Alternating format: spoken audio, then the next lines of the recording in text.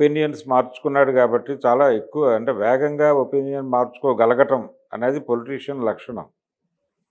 దాన్ని చాలా అద్భుతంగా అడాప్ట్ చేసుకున్నాడు హైపర్ ఆది. ఆయన ఈ మధ్య కాలంలో ఒక నెల క్రితం జగన్ పుట్టినరోజు సందర్భంగా జరిగిన వేడుకల్లో రోజా గారితో కలిసి పాల్గొన్నాడు. పాల్గొని చాలా జాగ్రత్తగా ప్రాక్టికల్గా మాట్లాడాడు అసలు. అప్పుడు ఆ వేదిక మీదకి అతన్ని చూసిన చాలామంది ఎందుకు ఇతన్ని పిలిచారు ఇతను ఎందుకు ఇన్వైట్ చేశారు ఇతను పవన్ కళ్యాణ్ ఏజెంటు ఇతను ఎందుకు పిలిచారు ఇలాగ రకరకాల కామెంట్స్ అక్కడే వచ్చినాయి. ఆ వచ్చిన సందర్భంలో కూడా ఆయన డయాస్ మీద చాలా పద్ధతిగా మాట్లాడాడు. మాట్లాడుతూ జబర్దస్త్ షోలో తనకు చాలా సపోర్ట్ ఇచ్చారు రోజా గారు అని చెప్పేసి ఆవిడ సపోర్టుతోనే నేను ఎదిగాను అనే పద్ధతిలో ఆయన మాట్లాడుకుంటూ వెళ్ళాడు. జగన్ గారి గురించి కూడా చాలా పాజిటివ్ గారు. ఆయన పాలన గురించి అంతకంటే పాజిటివ్గాను ఆయన మాట్లాడేశాడు అయిపోయింది. ఆ ప్రోగ్రామ్ అయిపోయింది ఆ వేదిక దిగిపోయిన తర్వాత ఆయన ఒపీనియన్ మార్చేసుకున్నాడు వెంటనే.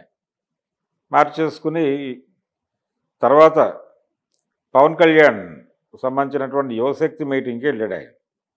వెళ్ళి అక్కడ పూర్తి స్థాయిలో రోజా గారి మీద అటాక్ చేస్తూ మాట్లాడటం ఎవరావిడ అని ఆయనేమో ఆటిన్ రాణి అన్నాడు దాన్ని కొనసాగింపుగా ఈయన మరింత రెచ్చిపోయి జగన్ మీద జగన్ పాలన మీద అలాగే రోజా మీద ఆయన పద్ధతిలో ఆయన విరుచుకుపడి తన అనుభవాలను కూడా క్రోడీకరించి మరీ విమర్శను గుప్పించినటువంటి సందర్భం మనందరం చూసాం. దాని మీద రియాక్ట్ అవుతూ ఆవిడ హైపరాధీన డైపరాధీన అని కొంచెం కొంచెం థర్డ్ రేట్ విమర్శల్లోకి వెళ్ళిపోయింది ఆవిడ. ఈ కండిషన్ కూడా చూసాం మనం. అంటే చాలా కాన్షియస్గా ఆయన ఏ రోటి దగ్గర ఆ పాట అనేది మనకు పాత నానుడి ఒకటి ఉంది. ఏ రోటి దగ్గరికి వెళ్ళినప్పుడు ఆ పాట పాడుతారు అనేది. దాదాపుగా అదే పద్ధతి పాటిస్తున్నాడు ఆయన. మొదటి నుంచి కూడా వాస్తవంగా బయట పవన్ కళ్యాణ్ అభిమాని మెగాభిమాని ఈ మెగాభిమాని అనే మాట వెనకాల మళ్ళీ ఆవిడ ఒక కామెంట్ చేసింది రోజా గారు. చాలా కాన్షియస్గా ఆవిడ అన్నమాట ఏంటంటే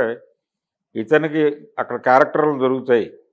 ఇతనికి అవకాశాలు దొరికితే రకరకాల పద్ధతుల్లో దాదాపు అరడజన్ మంది హీరోల పైన ఉన్నారు అక్కడ. కాబట్టి వాళ్ళ సినిమాల్లో అవకాశాలు దక్కుతాయి అనే ఉద్దేశంతోనే అటువైపు తిరిగి మాట్లాడుతున్నాడు అతను. దీని వెనకాల స్వార్థం ఉంది తప్ప రాజకీయం లేదు. అతను పొలిటికల్ మనిషి కాదు. కథను నడుపుకోవడం కోసం ఎవరిని పడితే వాళ్ళని ఎక్కడ పడితే అక్కడ ఎలా పడితే అలా మాట్లాడే మనిషి మాత్రమే నటుడు. అతని విమర్శల్ని నటనగానే చూడాలి అన్న టోన్లో ఆవిడ ఒక క్లారిఫికేషన్ ఇచ్చేటువంటి ప్రయత్నం చేసింది. నిజంగానే మెగా కుటుంబంతో సన్నిహితంగా ఉంటే క్యారెక్టర్లు వస్తాయనే అభిప్రాయం ఉంటే హైపరాజీగా అది నో ప్రాబ్లం అది అసలు ఇష్యూ కాదు.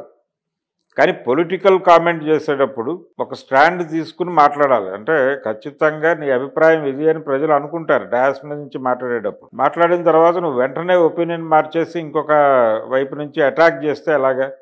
అంచేత ఎప్పుడైనా సైద్ధాంతిక ప్రాతిపదిక మీద మాట్లాడిన విమర్శలు మాత్రమే పరిగణనలో తీసుకోవాలి కానీ ఇలాంటి వాళ్ళ విమర్శలు అసలు పట్టించుకోకూడదు అనే సెన్స్ కూడా వస్తుంది.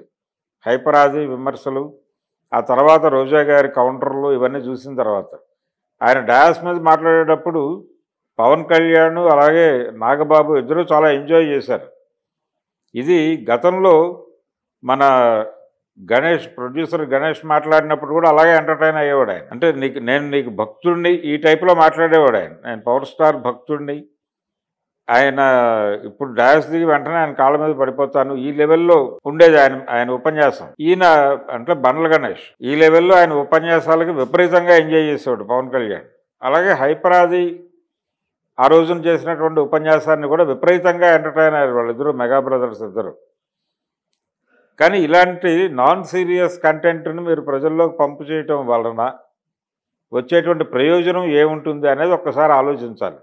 దీన్ని జనం నాన్ సీరియస్గానే తీసుకుంటారు పట్టించుకోరు. ఇది నటన అనే విషయం చాలా స్పష్టంగా వాళ్ళకి తెలుసు. ఏ ప్రయోజనాల కోసం ఆయన నటిస్తున్నాడు అనే విషయంలో కూడా ప్రజలకు పూర్తి క్లారిటీ ఉంది.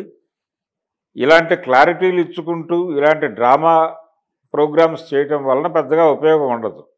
నాలుగు పంచ్ డైలాగులు ఎవరి మీద కావాలంటే వాళ్ళ మీద వర్కౌట్ చేసి పేల్చటం అనేది ప్రోగ్రామ్గా పెట్టుకుంటే అది ఆ ఆ ఈవెంట్కి వచ్చినటువంటి ఒక సెలబ్రిటీ తనకిచ్చినటువంటి పాత్రను పోషించినట్టుగానే ఉంటుంది. ఒక ఈవెంట్గా మారుతుంది సభ అనేది.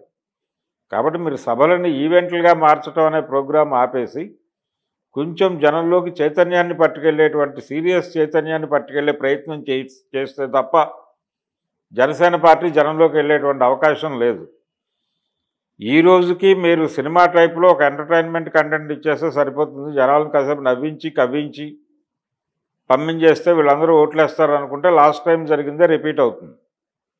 కాబట్టి కొంచెం థియరిటికల్గాను జనాలకి కాన్షియస్గా అంటే జగన్ ప్రభుత్వాన్ని జగన్ మీద దాడి చేయటం మాత్రమే కాదు.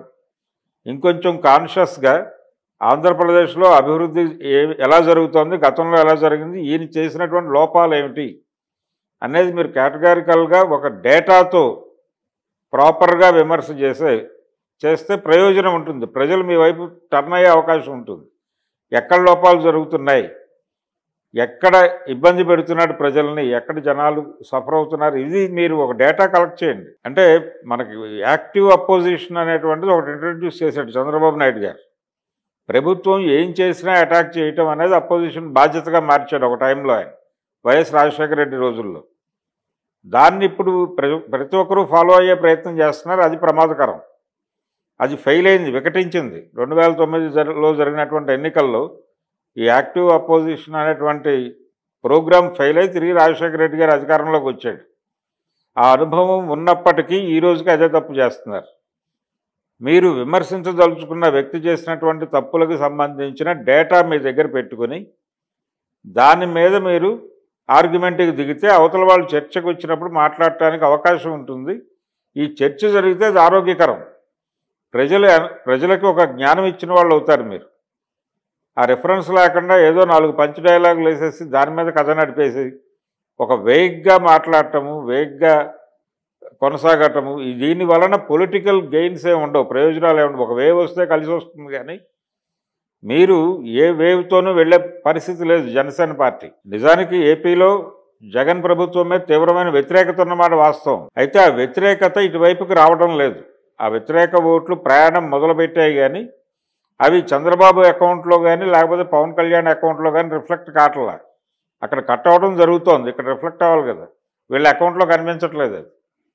ఎందుకు కనిపించట్లేదు అనేది చెక్ చేసుకోకపోతే ఇవే ఓట్లు మళ్ళీ తిరిగి అటు వెళ్తాయి. కాబట్టి ఏ విధంగా చూసినా ఇలాంటి నాన్ సీరియస్ కంటెంట్తో మీరు యుద్ధం చేస్తే మీరు సాధించబోయేది ఏమీ ఉండదు అనేది పవన్ కళ్యాణ్ గారు తెలుసుకోవాలి. అలాగే అటువైపు నుంచి కూడా నాన్ సీరియస్ యాక్టివిటీస్ని ప్రమోట్ చేసి చేయించడానికి మిమ్మల్ని పురికొల్పడానికి కూడా జగన్ గారు ప్రయత్నం చేస్తాడు సీరియస్గా. ఆయనకు కావాల్సింది కూడా ఇదే. మీరు ఇలా నాన్ సీరియస్ కంటెంట్తో అలాగే జనాలని ఎంటర్టైన్ చేస్తూ కన్ఫ్యూజ్ చేస్తూ ముందుకెళ్ళిపోతే ఆయన కావాల్సిన పొలిటికల్ గెయిన్ ఆయన పొందుతాడు. అది కూడా ఆయన మిమ్మల్ని ఆ ట్రాక్లోకి నడపడానికి ప్రయత్నం చేస్తాడు.